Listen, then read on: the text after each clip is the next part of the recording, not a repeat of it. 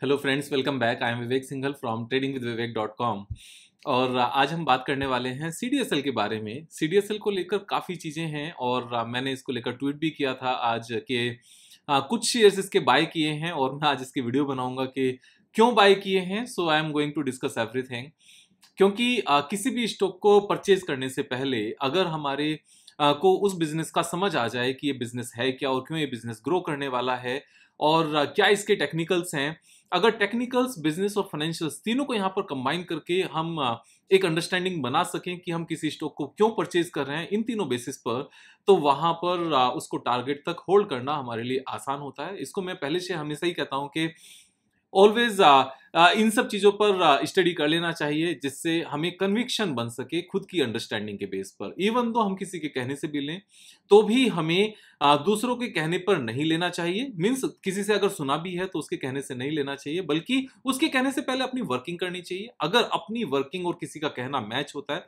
Then only यहाँ पर हमें इनिशिएट करना चाहिए। तो दूसरे की बातों को सुनना एक तरह का एक असिस्टेंस मानना चाहिए लेकिन अपना ही पैसा लगाना है। तो अपनी ही हमें यहाँ पर स्टडी करनी पड़ेगी। तो सबसे पहले अगर बिज़नेस की बात करें, हम यहाँ पर सीडीएसएल का एक बार अगर कंपनी का साइज़ देखें company ten thousand crore rupees की है और R O C thirty one percent है। So this is one of the great thing ये इंस्टीट्यूशनल ड्रिवन होती है और प्रोमोटर्स को ट्वेंटी परसेंट से ज़्यादा होल्डिंग रखने का डिपोजिटरी सर्विसेज़ में अलाउ नहीं होता, इसलिए प्रोमोटर्स के पास 20 परसेंट हिस्सेदारी है और बाकी हिस्सेदारी यहाँ पर इंस्टीट्यूशंस के पास है। अगर हम यहाँ पर इन्वेस्टर्स का डेटा यहाँ अवेलेबल नहीं है, लेकिन अगर आप फर्दर चेक करोगे एनुअल रिपोर्ट को ओपन करके तो आपको वहाँ पर ये चीज़ें मिल जाएँगी। और यहाँ एक का जो इंपॉर्टेंट पार्ट है कि सीडीएसएल का मेन बिज़नेस क्या है? सीडीएसएल का मेन बिज़नेस है जैसे बैंक अकाउंट में हमारे पैसे रखे जाते हैं, इसी तरीके से डीमेट अकाउंट में हमारे शेयर्स रखे जाते हैं।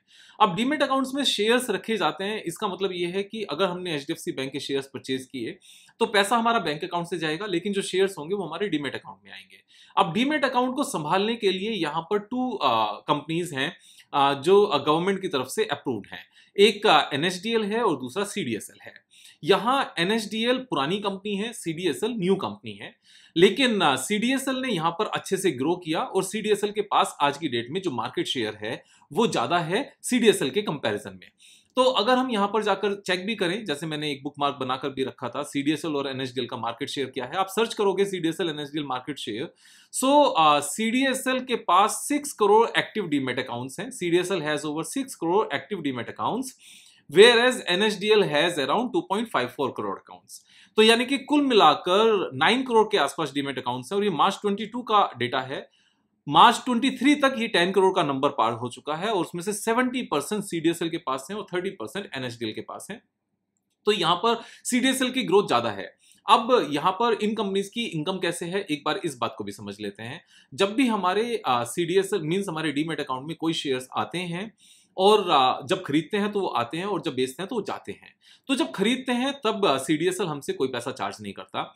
लेकिन जब हम उन शेयर्स को सेल करते हैं तो सीडीएसएल अपने एक प्रोसेसिंग फ़ीस के रूप में पर कंपनी, यहाँ पर पर शेयर नहीं, पर कंपनी, पर स्क्रिप्ट एक का पर्टिकुलर फिक्स अमाउंट चार्ज करती है, वो वेरी करती है सिक्स सेवन रुपीज़ से लेकर फिफ्टीन रुपीज़ के बीच में, और ये अलग अलग ब्रोकर्स अलग अलग चार्ज करते हैं।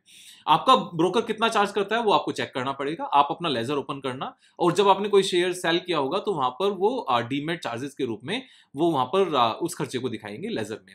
ये छोटी सी अमाउंट है। तो अगर एक करोड़ के आपने एचडीएफसी बैंक सेल किए तो भी वो टेन रुपीज़ के आसपास ही लगेंगे। सीडीएसएल के खर्चे की बात कर रहा हूँ मैं। और अगर आपने सिर्फ़ एक शेयर सेल किया तब भी आपका सेम ही अमाउंट लगेगा, क्योंकि पर कंपनी एक्सपेंस सेम है और ये परसेंटेज वाइज नहीं है, ये फिक्स है। तो यहाँ पर अगर हमने प्रॉफिट में सेल किया तो भी हमारा सेम खर्चा है। और अगर आपने नुकसान में सेल किया तो भी आपका सेम खर्चा है। आपने 1000 के शेयर सेल किए तो भी सेम खर्चा आएगा। और अगर आपने 1000 करोड़ के सेल किए तो भी सेम ही खर्चा आएगा। अब क्योंकि एक्टिव अकाउंट्स बहुत ज़्यादा हैं छोटी छोटी अमाउंट्स में यहाँ पर फ्रीक्वेंटली ट्रेड होते हैं। सभी लोगों को बाय एंड होल्ड करने वाला कॉन्सेप्ट समझ में नहीं आता। आज बाय करो, परसों सेल करो, आज बाय करो, एक हफ़्ते बाद सेल करो। तो जितना फ्रीक्वेंटली यहाँ पर सेल होगा, उतना ज़्यादा यहाँ पर सीडीएसएल को इनकम होगी। एक और इंपॉर्टेंट पॉइंट सीडीएसएल को जो इनकम होती है, उसका फ्यूचर एंड ऑप्शन से कोई लेना देना नहीं है। क्यों?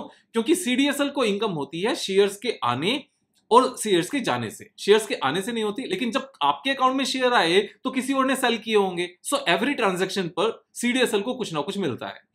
इक्विटी शेयर्स के केस में, क्योंकि मैंने अगर कुछ बाय किया तो किसी ने सेल किया होगा। तो बाय करते हुए मुझसे चार्ज नहीं करेगा, लेकिन, जिसने सेल किया, उससे चार्जिंग होगी। अब जब मैं सेल करूँगा तो मैं सेल करूँगा, कोई और बाय करेगा। तो जो बाय करेगा, उससे चार्जेस नहीं लगेंगे। मैंने सेल किया तो मुझसे होंगे। यानी कि एवरी ट्रांजेक्शन पे कोई ना कोई सेलर होगा और जो सेलर होगा, उससे वो यहाँ पर प्रोसेसिंग फ़ीस अपनी चार्ज करेंगे। तो ये बिज़नेस है। अब, यहाँ एक इंपॉर्टेंट पॉइंट क्या है? जब पिछले वन एंड हाफ़ ईयर से यहाँ पर मार्केट रुकी हुई है and mid cap and small cap यहाँ पर काफ़ी डीप डाउन नीचे चले गए थे, अभी वापस से ऊपर आना शुरू कर रहे हैं तो यहाँ पर नुकसान में बहुत ज़्यादा लोगों को बेचने का मन नहीं होता और वो उस चीज़ को होल्ड करके बैठ जाते हैं कि जब प्रॉफिट में आएगा या एड पर आएगा, तब बेचेंगे। अब जब तक हम बेचेंगे ही नहीं, तब तक सीडीएसएल की इनकम यहाँ पर कुछ भी नहीं होगी। अब ऐसे में जब मार्केट वापस से रिकवर होकर ऊपर आती है और वहाँ पर मिड कैप और स्मॉल कैप दोनों चलना शुरू करते हैं तब यहाँ पर मूवमेंट शुरू होती है शेयर्स के एक पोर्टफोलियो से दूसरे किसी के पोर्टफोलियो में जाने की, और तभी यहाँ पर सीडीएसएल की इनकम और ज़्यादा बढ़ती है। तो जब कभी भी मार्केट यहाँ पर डाउन जा रही होगी, उस टाइम पर सीडीएसएल की इनकम कम हो जाएगी, और जब मार्केट वापस से रिकवर करके आगे बढ़ना शुरू करेगी, तब सीडीएसएल की इनकम यहाँ पर और ज़्यादा बढ़ जाएगी। तो यहाँ पर सीडीएसएल की इनकम फाइनली ऊपर ही जाएगी, एक step down two step up one step down two step up वो इसलिए क्योंकि अभी इंडिया में सिर्फ़ और सिर्फ़ थ्री परसेंट लोग मार्केट में ट्रेड करते हैं, जबकि अमेरिका में ये नंबर फिफ्टी फाइव परसेंट है। इस चीज़ को लेकर फिनसोट ने यहाँ पर एक का दिखाया भी था परसेंटेज जो हम यहाँ पर देख सकते हैं कि इंडिया का जो which percent of what percent of a nation's population invest in stock three percent India का करता है वन थर्टी करोड़ पॉपुलेशन है। चाइना का थर्टीन परसेंट लोग मार्केट में ट्रेड करते हैं। यूके के थर्टी थ्री परसेंट लोग इक्विटी में स्टॉक्स में ट्रेड करते हैं और अमेरिका के 55 परसेंट करते हैं। अब मैं कहता हूँ कि चलो अमेरिका तक पहुँचने में हमें बहुत टाइम है, लेकिन चाइना तक पहुँचने में हमारी आँखों के सामने ही चीज़ हो जाएँगी और बहुत जल्दी हो जाएँगी। थ्री परसेंट से थर्टीन परसेंट होना है। अब पॉइंट ये आता है कि विवेक भाई यहाँ पर जो थ्री परसेंट से थर्टीन परसेंट तक की जो चीज़ आएँगी जो एक ग्रोथ होगी नंबर ऑफ़ इन्वेस्टर्स में आ, पहली बात तो ये बहुत बड़ा नंबर है क्योंकि इंडिया की पॉपुलेशन बहुत बड़ी है चाइना की जैसी ही है। तो 10 परसेंट अगर मार्केट शेयर बढ़ेगा means 10 percent more people will invest in the market तो इसका मतलब ये है कि 140 करोड़ में से मोटा मोटा 14 करोड़ पीपल यहाँ पर नए लोग आएँगे इक्विटी में ट्रेड करने के लिए। और 14 करोड़ पीपल जब मार्केट में ट्रेड करने आएँगे तो कम से कम 30 करोड़ अकाउंट्स खुलेंगे क्योंकि एक एक बंदे के पास दो दो तीन तीन अकाउंट्स हैं। तो यहाँ ये चीज़ समझनी इंपॉर्टेंट है। एक और जो बात यहाँ पर इंपॉर्टेंट है वो मैं आपको यहाँ पर नंबर्स दिखाता हूँ कि आ, जो ये पूरी ग्रोथ आएगी ये सीडीएसएल के पास आएगी एनएसडीएल के पास उतनी बहुत ज़्यादा नहीं जाएगी इसका क्या रीजन है? अभी आज की डेट में ज़्यादातर लोग जो डिस्काउंट ब्रोकर्स हैं उनके पास अकाउंट ओपन कराते हैं। और जितने भी डिस्काउंट ब्रोकर्स हैं, सबके डीमेट अकाउंट्स यहाँ पर एनएसडीएल में किसी का भी नहीं होता, सबके डीमेट अकाउंट्स यहाँ पर सीडीएसएल में ओपन होते हैं। ये एक प्लस पॉइंट है सीडीएसएल के पास, जो एनएसडीएल के पास नहीं है। अगर इसी चीज़ को हम यहाँ पर सर्च करने लगे तो जैसे हम सर्च करते हैं Zerodha DP name depository participants name तो यहाँ पर लिखा हुआ आता है depository participant is CDSL Zerodha जितने भी अकाउंट्स ओपन करता है सीडीएसएल के पास करता है। जीरोधा के पास ट्रेडिंग अकाउंट होता है, लेकिन जो डीमेट अकाउंट है, वो सीडीएसएल के पास जीरोधा यहाँ पर ओपन करता है। अगर हम सेम ही चीज़ को यहाँ पर अपस्टॉक्स का देखने लगे कि अपस्टॉक्स में कौन अपस्टॉक्स में कराता है तो अपस्टॉक्स भी यहाँ पर ज़ीरो धा में ही कराता है, क्योंकि जो number one two zero eight से शुरू होते हैं, ये ज़ीरो धा ये सीडीएसएल के शुरू हैं। बेसिकली जो ये यहाँ पर सिक्सटीन डिजिट का नंबर होता है, ये अपना ज़ीरो था का, वो सीडीएसएल का होता है, क्योंकि एनएचडीएल के जितने भी डीमेट अकाउंट्स होते हैं, वो आई एन से शुरू होते हैं आई एन जैसे हम यहाँ पर अगर आईसीआईसी बैंक की बात करने लगे आईसीआईसी सिक्योरिटीज की बात करने लगे तो वहाँ पर कहा, वो कहाँ ओपन करता है तो वो एनएचडीएल में ओपन करता है, और एनएचडीएल की डीपीआईडी शुरू होती है आई एन से, इस तरीके से। और सीडीएसएल की शुरू होती है सीधी डिजिट से। अब जैसे मैंने जीरोधा का बताया, वो सीडीएसएल में करते हैं। आपको अपस्टॉक्स का बताया, वो भी जीरोधा में ही करते हैं। हम एंजल वन की एंजल वन की बात करने लगे तो एंजल वन भी हमारा सीडीएसएल में ही करता है। हम यहाँ पर देख सकते हैं। और फाइव पैसा भी हमारा यहाँ पर सीडीएसएल में ही करता है। हम वो भी देख सकते हैं। और इससे अलग और भी बहुत सारे नेम्स अगर आप देखोगे, जैसे मोतीलाल ओसवाल है, जो कन्वेंशनल यहाँ पर ब्रोकर है वो भी यहाँ पर सीडीएसएल में ही करता है सेंट्रल डिपोजिटरी सर्विसेज़ लिमिटेड में। सो so, जितनी भी ग्रोइंग है जो ग्रोथ आनी है उस ग्रोथ का मेरे हिसाब से कम से कम 80 परसेंट सीडीएसएल के पास जाने वाला है, वो एनएसडीएल के पास नहीं जाएगा, क्योंकि एनएसडीएल को यूज़ करने वाले कौन है? आईसीआईसी बैंक एचडीएफसी बैंक या कोटक महिंद्रा कोटक सिक्योरिटीज ये जो बैंक्स हैं बैंक्स में बहुत ज़्यादा लोग अब नहीं जाते, जो हैं, वो हैं, लेकिन जो ग्रोथ है, वो नाइनटी परसेंट ग्रोथ ये डिस्काउंट ब्रोकर्स कैप्चर करते हैं और डिस्काउंट ब्रोकर्स के पास जितने भी अकाउंट खुलते हैं, वो सीडीएसएल में खुलते हैं। So this is a very plus point second जो मैं आपको बता चुका हूँ, आप नुकसान में बेचो या प्रॉफिट में बेचो, यहाँ पर सीडीएसएल को आपने चढ़ावा चढ़ा के जाना है, उनके ड्रॉप बॉक्स में आपने कुछ पैसे डाल के जाना है। ये टोल टैक्स जैसा है, आपने अगर हाईवे पर जाना है तो आपको टोल टैक्स पे करके ही जाना है, चाहे आप एक सवारी हो, चाहे आप गाड़ी में दो सवारी बैठी हो, चाहे आपकी गाड़ी टू सीटर हो, चाहे आपकी गाड़ी यहाँ पर सेवन सीटर हो, कोई फ़र्क नहीं है, बस की बात अलग है। तो ये सारे पॉइंट्स हैं जो यहाँ पर ग्रोथ के लिए यहाँ पर सीधे सीधे आ, सारे डोर्स ओपन करते हैं। अच्छी बात एक और है कि आ, ये एक टेक्नोलॉजी बेस्ड कंपनी है। मैन पावर बहुत ज़्यादा नहीं बढ़ती अगर यहाँ से नंबर ऑफ़ अकाउंट्स डबल हो जाए। तो जितनी भी रेवेन्यू बढ़ती है, उसका मेजर पोर्शन यहाँ पर नेट प्रॉफिट में जाता है सीधा सीधा क्योंकि प्लेटफॉर्म एक बार बन गया तो प्लेटफॉर्म बन गया। यहाँ पर टेक्नोलॉजिकली टेक्नोलॉजिकली यहाँ पर चीज़ें यहाँ पर ड्राइव होती हैं और मैनुअल वर्क यहाँ पर ना के बराबर होता है। तो ये बिज़नेस और फाइनेंशियल्स को लेकर पॉइंट है। फाइनेंशियल्स को हम लेकर चीज़ें देख चुके हैं कि एवर ग्रोइंग कंपनी है, जैसे जैसे इंडियन मार्केट बढ़ रही है, वैसे वैसे यहाँ पर नेट प्रॉफिट कंसिस्टेंटली बढ़ रहा है और रेवेन्यू भी उसी हिसाब से यहाँ पर लगातार बढ़ रही है। पिछले एक साल में रेवेन्यू यहाँ पर इसलिए नहीं बढ़ी क्योंकि मार्केट नहीं बढ़ी। अब मार्केट बढ़ने का क्या लिंक है इस बात का? मैं आपको एक चीज़ दिखाता हूँ। यहाँ पर एक बार पहले सीडीएसएल का एक बार चार्ट ओपन करते हैं। आप ध्यान से समझना कि किस तरीके से हमने सारी चीज़ों को बारीकी से समझना चाहिए।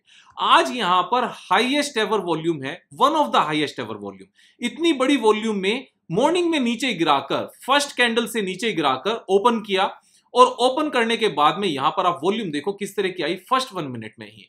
यानी कि ये माल भरा जाता है। अब चाहे इसको ब्लॉक डील बोले, चाहे इसको बल्क डील बोले या इसको गिराकर पब्लिक से माल निकालना बोले, उस चीज़ से मुझे फ़र्क नहीं पड़ता। मुझे यहाँ पर एक चीज़ का फ़र्क पड़ता है। नीचे गिराया गया ओपन करते ही फ़र्स्ट कैंडल में और सारा माल भर लिया गया और उसके बाद में जितना भी माल आया, सारा भरते गए और इतनी बड़ी अगर वॉल्यूम इससे पहले कभी आई थी तो ये वॉल्यूम हमारी आई थी सितंबर 20 में।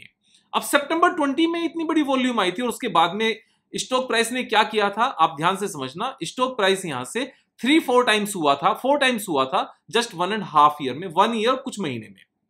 सितंबर 20 से लेकर दिसंबर 21 तक, क्योंकि यहाँ से ग्रोथ आई थी पूरी पूरी मार्केट में। अब सितंबर 20 में ऐसा क्या था, एक बार इस चीज़ को देखने के लिए निफ्टी का चार्ट मैं आपको दिखाता हूँ कि सितंबर 20 में यहाँ पर क्या था।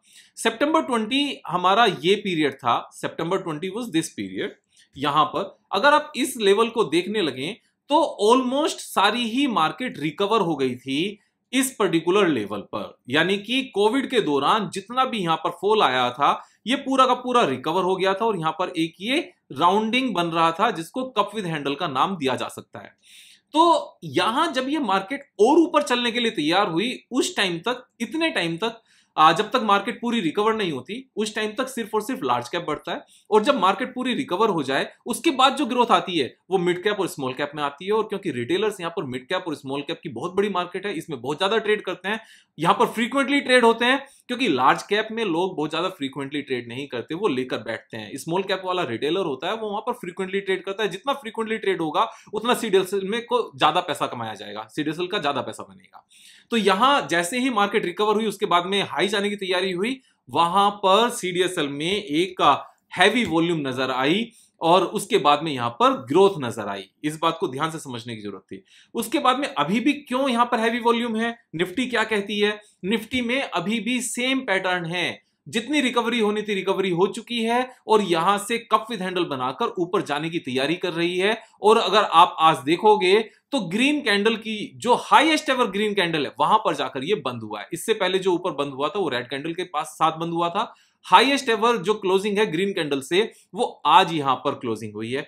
Highest ever number means highest ever level पर निफ्टी यहाँ पर क्लोज हो रही है। तो ऐसे में पता चलता है कि यहाँ से मार्केट तेज़ी होने वाली है और सीडीएसएल की यहाँ पर नई शुरुआत होने वाली है। जो लोग ऐसे में मार्केट को मींस स्टॉक प्राइस को गिरा हुआ देखकर घबराते हैं, वहाँ घबराने की ज़रूरत नहीं होनी चाहिए। हमें वहाँ पर सीखने की ज़रूरत होनी चाहिए। इस सारे पॉइंट्स को कितने सिंप्लिसिटी के साथ हम समझ सकते हैं। अब यहाँ पर टेक्निकल्स की मैं आपको कुछ बातें बताता हूँ।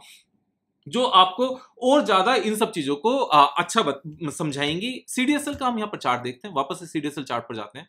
एक चीज़ सबसे पहले यहाँ पर क्या नज़र आती है? That there is a reverse head and shoulder pattern तो यहाँ पर ये हमारा लेफ़्ट शोल्डर है ये हमारा आ, मैं वापस से बनाता हूँ ये हमारा लेफ़्ट शोल्डर है this is the head and this is the right shoulder right shoulder के बाद में आ, हमारी आ, ये ब्रेकआउट कैंडल है दैट इज़ थर्टी फ़र्स्ट में और ब्रेकआउट कैंडल के टॉप के ऊपर हाई के ऊपर यहाँ पर एक और क्लोजिंग होना this is the confirmation of breakout candle तो ब्रेकआउट का कंफर्मेशन भी हो गया। उसके बाद में नीचे आया। अब जब मैंने कहा हुआ है कि नीचे आने के केस में अगर शोल्डर जो राइट शोल्डर है, इसके नीचे क्लोजिंग हो जाए तो ये हमारा पूरा पैटर्न बेकार हो जाता है। लेकिन ऐसा नहीं हुआ। नीचे आया, माल भरने के लिए नीचे आया और शोल्डर के नीचे नहीं गया, यानी कि pattern as it is sustain करता है। तो एक तो पैटर्न यहाँ पर ये बन गया। सेकंड पैटर्न हमारा यहाँ पर क्या बनता है? एक मैंने वी ट्वेंटी स्ट्रेटजी आपको सिखाई हुई है। वी ट्वेंटी स्ट्रेटजी को लेकर हमारा ये पैटर्न बनता है ट्वेंटी टू परसेंट का। तो ये एक पैटर्न बनता है। आ, इस वी ट्वेंटी स्ट्रेटजी को सीखने के लिए जो मैंने अपना ऑनलाइन पेड कोर्स डाला हुआ है आप चैनल पर जाना प्लेलिस्ट में जाना उसमें हिंदी और इंग्लिश वर्जन में दोनों सेवन सेवन वीडियोज़ हैं थ्री थ्री आवर्स ईच की। पूरे को देखना उसमें बहुत सारी स्ट्रेटजी सिखाई हुई है V twenty one of the strategy अब एक तो ये हो गया सेकंड स्ट्रेटजी ये हो गई। थर्ड यहाँ पर एक बनता है हमारा ये आ, आ, रेंज बाउंड ट्रेडिंग अब रेंज बाउंड ट्रेडिंग के हिसाब से 32 परसेंट की यहाँ पर मूवमेंट है और 32 परसेंट की मूवमेंट के हिसाब से यहाँ पर चार बार ऐसा हुआ है थ्री टाइम्स पहले हुआ है कि सेम लेवल पर आया और ऊपर गया इस रेंज में फिर दोबारा आया फिर इसी रेंज में गया फिर तीसरी बार आया फिर सेम रेंज में गया और अभी फोर्थ टाइम ये उस लेवल से भी नीचे और वापस से जाने की तैयारी कर रहा है।